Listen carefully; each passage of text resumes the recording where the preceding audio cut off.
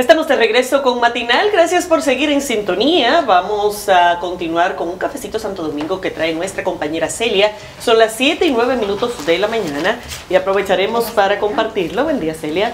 Buenos días, Celia. ¿Qué tal? Tercio. Muchas gracias. Aprovechamos para recibir igualmente a Odalis Vega, alcalde de Ato Mayor, quien estará conversando con nosotros. Bienvenido, Odalis, un placer tenerte por aquí. Buenos días a cada uno de ustedes. Eh, Geraldino, un placer. Eh, Laura y Don Percio, contento de estar aquí con ustedes. Un placer. recibimos con un cafecito para que no te quejes. Gracias. Mm, ¿Cómo anda Ato Mayor? ¿Eh? Mayor del Rey. Mayor está como está el país, en espera a ver qué es lo que sucede en el panorama político, a ver qué es lo que se está moviendo, qué es lo que por fin... Bueno, pero ayer eh, se movieron algunas cosas. Sí, ayer se agilizaron algunas cosas, ya se dio un pasito de avance, pero falta eh, que se esclarezcan algunas cositas todavía para ver, pero en cuanto a la ciudad vamos bien, la gente eh, ha respondido bien y ¿Y qué decirle? Somos un pueblo laborioso, dedicado al cítrico y a, la ganadería, y en eso estamos concentrados en, estos momentos. ¿En qué ha quedado la carretera que comunica a Tomayor con Sabana de la Mar? Bueno, hace unos días iniciamos unas protestas exigiéndole al gobierno central la terminación de la carretera.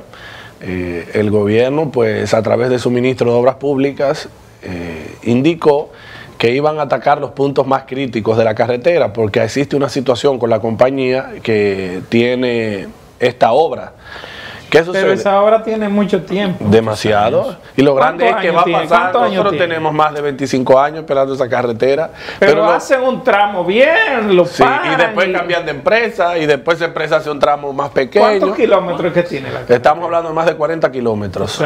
Entonces una empresa te arregla 5 kilómetros. Si hay una parte que está arreglada, ellos la debaratan para ponerla al nivel de lo que ellos quieren hacer. ¿qué es lo que pasa? No sé, parece. Esa es una de las explicaciones que le hemos estado solicitando al, al gobierno a las autoridades que expliquen por qué. Yo fui por ahí en una ocasión y es una carretera muy linda visualmente. Pero claro, no solo eso, siendo Atomayor la primera provincia ecoturística del país, declarado en el año 2002, se supone que al día de hoy debimos estar viviendo del ecoturismo.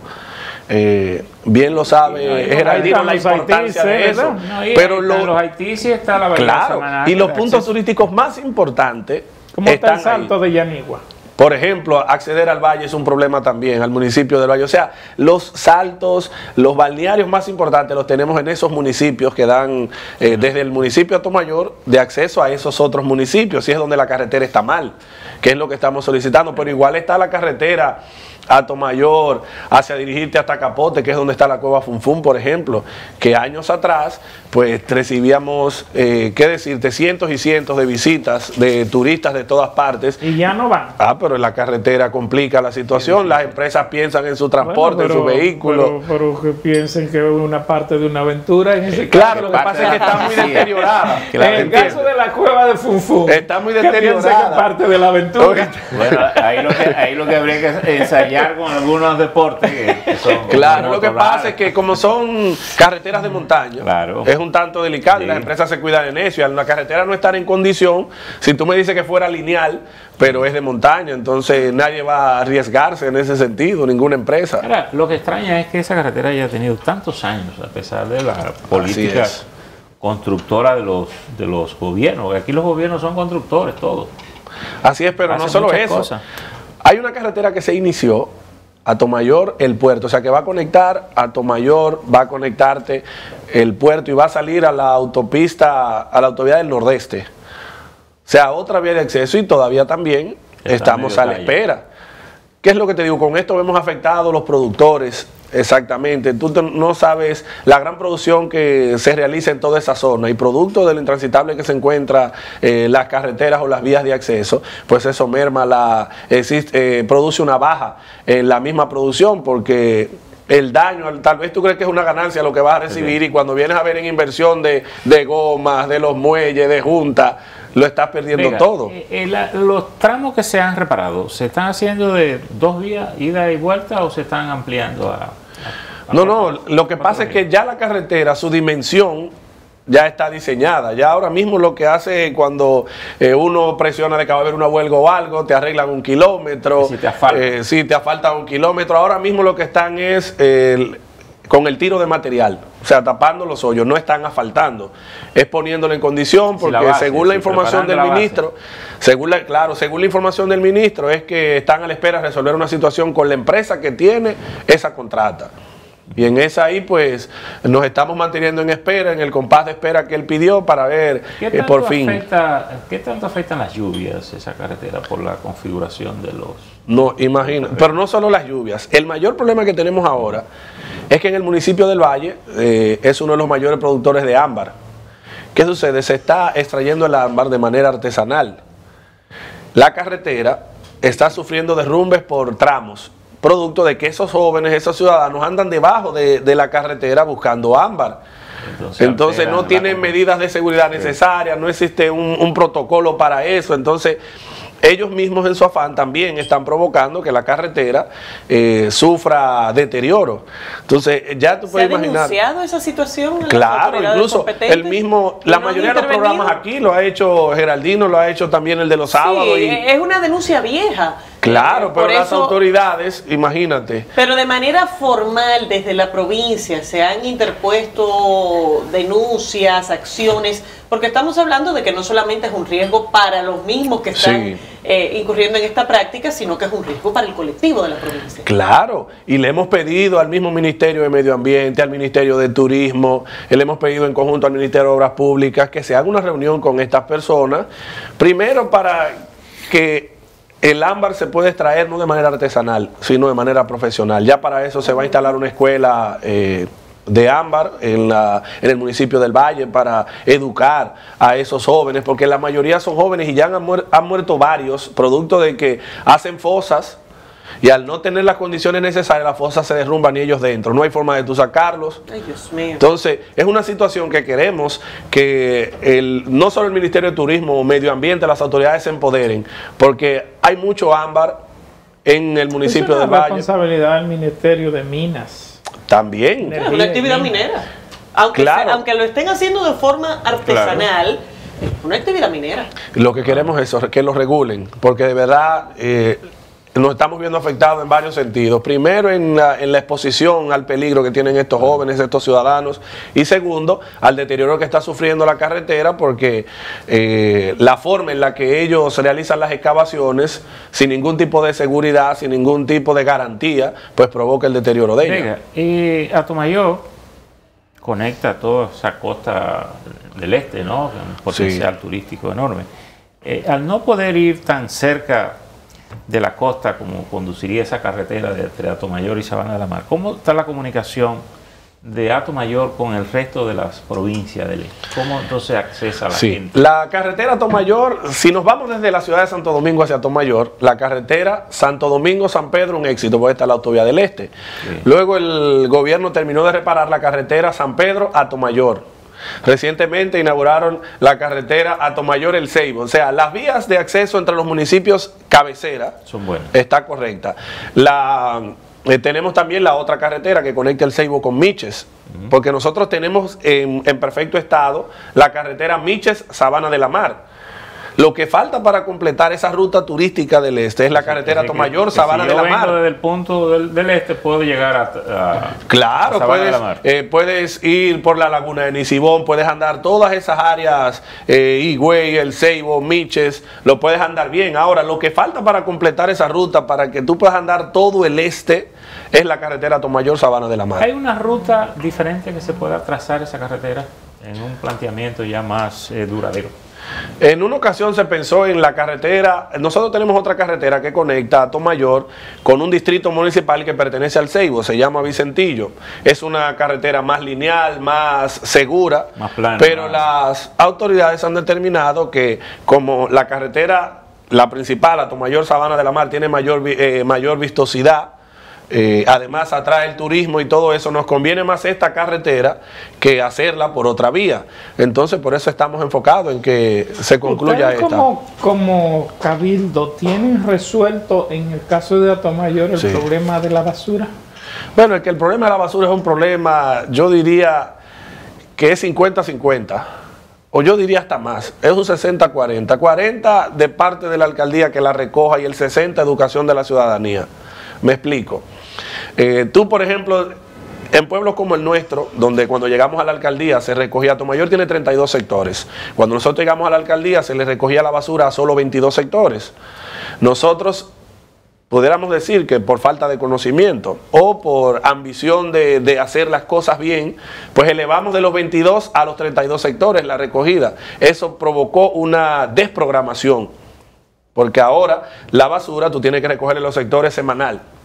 No hay forma de recogerla a diario por el asunto de la cantidad de sectores que son, los equipos con los que tú cuentas, más la educación que se le está dando ahora a la población a través del Plan Dominicana Limpia, a través del Departamento de Educación Municipal, para que la gente entienda que la basura podemos recogerla más fácil si la tienen en sus envases, si la sacan a la hora que uno le pide, si la sacan el día que uno le pide, que tirar la basura a la calle eh, no solo afecta a la ciudad, lo afecta a usted en base a la educación que usted pueda tener.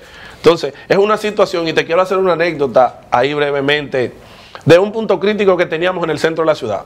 Cuando yo asumí la alcaldía, habían estos contenedores verdes, estos grandes, en toda la ciudad, pero eran unos vertederos. Allí echaban escombros, animales muertos y todo eso. Se me ocurrió quitar los contenedores. La población me cayó encima. Entonces ahora, ¿dónde vamos a echar la basura? Pero ya yo había hecho un levantamiento de que la basura que se lanzaba allí no era la basura del centro del pueblo. Eran ciudadanos que si el camión cruzaba por su sector el día jueves, ellos no la querían tener ahí y la llevaban al centro de la ciudad. Y la ponían en uno de esos contenedores. Quitamos los contenedores. Al principio la gente continuaba llevando la basura aún no estando el contenedor. Y la ponían ahí como que existía el contenedor. Entonces, ¿qué hicimos? Pusimos un policía municipal porque la mente se acostumbra a lo que ve. Pusimos un policía municipal, este duró tres días allí. Ya la gente cruzaba y veía que había policía municipal. Después lo puse tres días más, pero que él no estuviera en el mismo sitio, sino enfrente. Y cuando la gente llevaba la basura, él te salía de sorpresa, tipo como salen los agentes de la DGC. Te salía de, de la oscuridad, él te salía. Cuando él te salía, ya la gente sabía que alguien lo estaba vigilando. Ya después yo lo quité. Y ahora la gente todavía cree que hay un agente. Que hay un agente. Todavía la gente dice, no la ponga, que tú no lo estás viendo, pero él está por ahí. Eso se llama paranoia. Claro, pero imagínate, no había forma. Y así logramos corregir la limpieza del centro de la ciudad. De que tú podrás tener basura en un sector por una desprogramación, por un fallo en, en, el transporte, por problema en el vertedero, por el centro de la ciudad. Usted corre un riesgo ahora. Claro. Que lo está oyendo No, no, ya lo saben. pero imagínate, así fue que lo logramos, porque ya también lo entienden. Sí, ya ahora nosotros vamos a aplicar, por ejemplo, los videos de cámaras de seguridad. Le hemos pedido a algunos eh, negocios la posibilidad de facilitarnos. El donde 911 está ya. Eh, va a entrar en vigencia este año, según lo anunciado por el presidente de la República. claro, para utilizarlo y esos videos subirlos para que la gente tome conciencia y tenga temor a la hora de lanzar la basura de que lo están viendo y de que lo van a publicar por las redes también. Es como una especie de que lamentablemente tenemos que conseguir que la población se eduque y hay que buscar un mecanismo. ¿Y el flujo de recursos de ustedes por concepto de arbitrio? ¿Cómo Mira, yo siempre digo cuando me preguntan sobre eso, la situación de los pueblos. La mayoría de los pueblos somos una familia que no hemos distribuidos, eh, nos hemos casado, unos con otros y hemos formado pueblos. Todos somos familia. En los pueblos es muy difícil el pago de los arbitrios. Y el cobro, cuando digo el pago, es lo difícil que es el cobro en sí. Porque, me explico, yo tengo una empresa en la ciudad de Santo Domingo, es una hipótesis. Me están cobrando arbitrios por, por, no sé, por cualquier cosa, la municipalidad. Yo no puedo ver al alcalde del distrito por sus múltiples ocupaciones que él tiene, por, porque tiene un departamento para eso. Pero en Atomayor no. En Atomayor saben que el alcalde vive en la Padre Meriño 72. Y allá te esperan. Y yo vivo en un segundo nivel, en un apartamento. A quejarse. Y ahí me esperan bajando el escalera. Yo no tengo para dónde cobrando. correr. Yo no tengo para dónde correr al tiro. Entonces, cuando van bajando la escalera, cuando voy bajando la escalera, mire que me notificaron esto. ¿Qué puede hacer tú? le dices porque usted no va a pagar. Sí, pero no es que yo no te dicen que se lo exonere. Es que le haga su rebaja, que él va a pagar. pero por lo menos. claro, entonces. Pero imagínate. Entonces, claro. Mire, si no me lo puede exonerar, por lo menos hagamos una rebaja. Y hay que ver hasta dónde llegue esa rebaja, porque prácticamente el casi no pagar nada. Porque la rebaja no te la piden, es una rebaja sustancial lo que desean.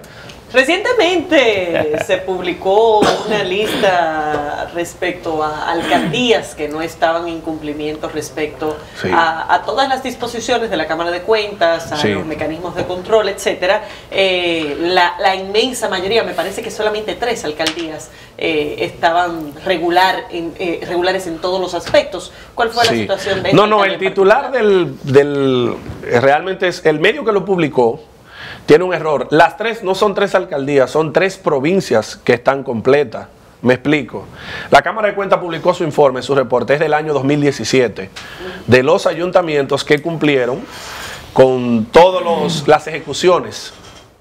¿Qué sucede? Cuando te menciono esos tres, no son esas tres alcaldías, sino las tres provincias que todos sus municipios y distritos cumplieron.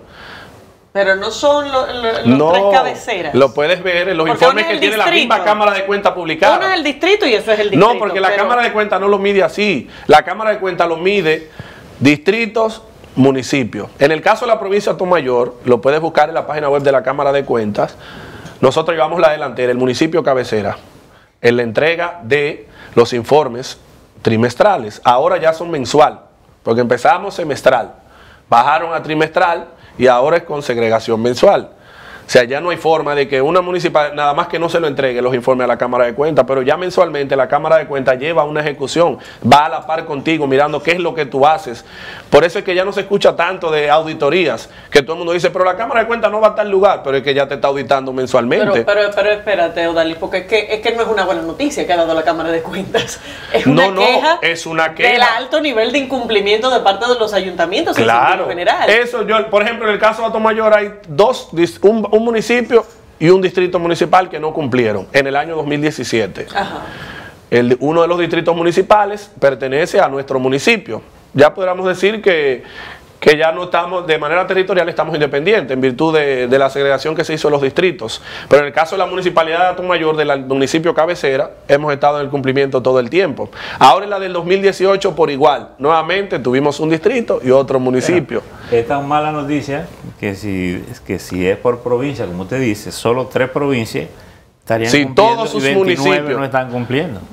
sí, me refiero, es que lo que quiero que me entiendan. Solo tres provincias, todos sus municipios y distritos han cumplido con la Cámara de Cuentas. las otras están incompletos. Si tienen tres municipios, nada más dos han cumplido, uno no. ¿Qué puede pasar? Que, que haya tres provincias que puedan, todos sus ayuntamientos cumplen. ¿Alguien está trabajando en eso? Mayormente esas provincias, si te fijas, son alcaldes reelectos. Tienen alcaldes reelectos en esos distritos, en los municipios. es decir, que la reelección sirve para algo. Bueno, le sirve para sentar cabeza a la mayoría de los alcaldes. que no, es el caso del distrito, que es el mayor de los municipios que está incluido. Así es. Porque es, nuevo. nuevo. Pero tiene un personal y los recursos para pagar un personal técnico que pueda ayudarle en eso, aunque ya eso no es una excusa, porque la misma Cámara de Cuentas, la Contraloría, la Tesorería, la Dirección General de Presupuesto te capacita el personal para eso. Por eso te decía que primero Además los informes... que, que, el problema no es que no haya recursos para el personal, el problema es que se dedican a otro tipo de cosas. A eso es, ya tú lo dijiste todo, a ponerlo por ahí. Porque el personal siempre aparece. Tú sabes que ahora viene una modificación, se ha propuesto una modificación a la ley, a la ley municipal, la ley 176 y 11 y es con el artículo 21, con el destino de los fondos. Hay una situación, tú sabes que el gobierno central, al no asignar el 10%, del presupuesto a los ayuntamientos, estos año tras año van en incumplimiento. ¿Por qué? Porque es el mismo artículo 21 que te dice en cuanto, en cómo tú debes dividir los recursos que llegan a un ayuntamiento. Tanto para nómina, tanto para... Claro, un 25% para nómina, 31% de servicios municipales, el 4% para género, salud y educación y el 40% para inversión, lo que la gente llama obra, que no es obra, porque esa cuenta se divide con otras cosas. Entonces, al tú no recibir el 10% del gobierno central, tú estás recibiendo un 2.3, un 2.2 y medio, provoca que la mayoría de las alcaldías incumplan con, el, con estos porcentajes debido a que no hay forma. Por ejemplo, una alcaldía que te dicen que tú nada más puedes disponer el 25% para nómina, donde es una alcaldía que debe de tener, por ejemplo, 600 empleados y el 25% no da, tiene que nombrarlos por el 31% que dice de servicios municipales. Entonces ahora hay una propuesta, la modificación de la ley que se ha consensuado con los diferentes sectores, específicamente en eso, en unificar esos porcentajes que no estén divididos en cuatro, la forma de distribución de los recursos a las alcaldías, sino en dos o en tres y que se aumente la, el porcentaje que existe para esto de los servicios municipales, porque el mayor problema de una alcaldía, la gente así lo percibe, no es tanto las obras, la gente piensa en un síndico, es la recogida de basura, por eso es que te juzgan. Tú puedes construir la ciudad completa y si la basura no la recogiste en la forma que ellos quieren, como ellos quieren y cuando ellos quieren, usted es malo. Entonces es una percepción que hay que a la ciudadanía cambiársela. La alcaldía es cierto, vamos a mantener la ciudad limpia, pero un plan de desarrollo es lo más importante para poner en desarrollo una ciudad. Entonces, hasta ahí es que hay que enfocar a la ciudadanía, que entienda cuál es el trabajo de, la, de los municipios, que es lo más difícil. ¿Reciben los ayuntamientos alguna orientación de cómo plantear, digamos, un sino un plan de desarrollo como uno supone que debería existir. Por lo menos los planes de trabajo, es decir, que el, alcalde no llegue a improvisar. Así es. Se han hecho los, eh, los planes de desarrollo, incluso hasta el 2030 pero se producen los cambios, viene uno nuevo, el nuevo dice yo no voy a seguir porque creen que el plan es tuyo y no que ya se consensuó con la Dirección General de Desarrollo Territorial, con la Cámara de Cuentas, con la Contraloría, con todas esas instituciones. Ellos creen que lo que está plasmado ahí, que hay que hacer dos canchas de aquí al año 2030, ellos creen que es una idea tuya y no que está ahí. Entonces ahora se desarrolló el plan de desarrollo y esperamos que si estamos nosotros, esté el que venga. Pero algún, alguna instancia le debe decir al nuevo alcalde. Sí. Oiga, no es lo que usted debería. Este un plan. Debería, ya lo diseñamos el plan, que no existía y está prácticamente hasta el año 2024. Lo que se quiere es que estemos o no estemos, las autoridades puedan decirle, mire, este es el plan que tenemos y la evaluación que estamos haciendo anual, de lo que tú deberías hacer y ejecutar en un año y que se le pueda, que existan medidas coercitivas, podamos decir, o, medidas que él se vea compelido a cumplir con eso, porque no vamos a estar en nada. Entonces, teniendo el plan ahí y que él venga con su visión y que él quiera hacer lo que le entienda. Dalis Vega, se nos acabó el tiempo. Afectos, tanto para ti, para Laura, para Percio.